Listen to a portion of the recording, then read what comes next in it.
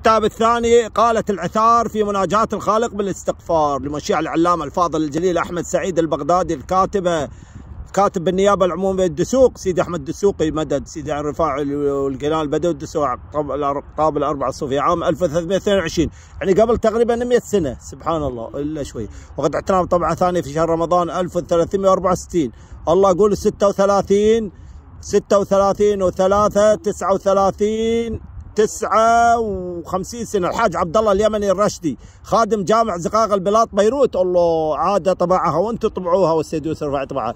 حاج محمد بن عبد الله قزيحة 23 صفر 1414 الله قولوا 15 آه لا 14 6 6 و3 9 سنوات. موافق؟ أي 1393 7 سبعة لا سبعة وثلاثة عشرة قبل ثلاثين سنة طبعت على نفقة سيدي الأستاذ شمس أحمد الرفاعي إحنا جددناه. وهو كاتب للوالد مخطق آه، إيده ما أدري أي واحد منهم قال تعالى استغفروا ربكم إنه كان غفارا يرسل السماء عليكم مدرارا ويمددكم بأموال وبنين ويجعل لكم جنات ويجعل لكم أنهارا. لحظة سيدي آه، بس خليني قاعد أرخ أنا سيدي ما أقدر أكل وأرخ. لا تدوس دير بالك. المهم هني آه، اخترت لكم أنا قصيدة وقلت لكم آه، هو وندى بنته ذكرناهم شعراء ندى السيد هاشم الرفاعي شاعرة أهل البيت وأهل البيت. الصوفيه كلها يناجون الله بذكر الله.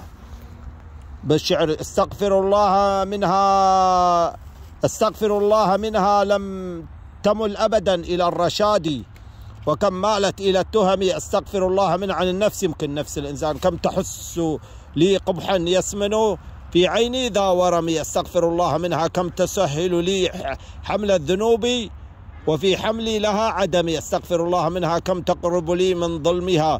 كلما القى كلما القي ألقى به ألمي. استغفر الله منها كم أميل بها إلى الحرام ولا زلت كم كمن نهمي. الله استغفر الله ما حاد المطي يعني حاد الركبان الخيل والجمال.